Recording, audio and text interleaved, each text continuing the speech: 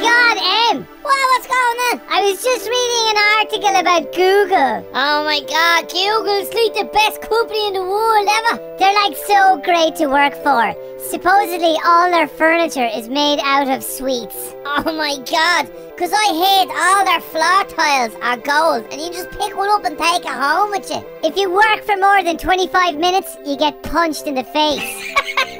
they hate that. Yeah, all they want you to do is go into a room full of bean bags. It's all white, and just have a go on a on an Xbox. They have small ponies in every office that you can either ride or kill.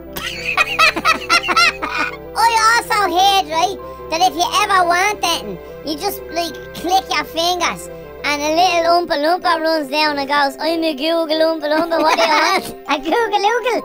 I know a guy who works there, right? right? Well, I don't know him. He's a, he's a, he was in a lift, and it was his birthday in work. Right. And do you know what they gave him? What? Google.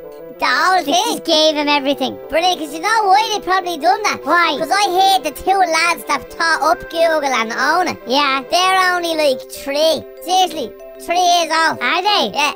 Do you know where the name Google came from? No. It's G O O G L E. Yeah. That they just put those letters together and they got it. What? Yeah, that's ma- that's where it came from. But you know, I heard one time. What? I heard, right, that this one girl went into Google and, like, she was having such a good time, she never went home. And then her flat burnt.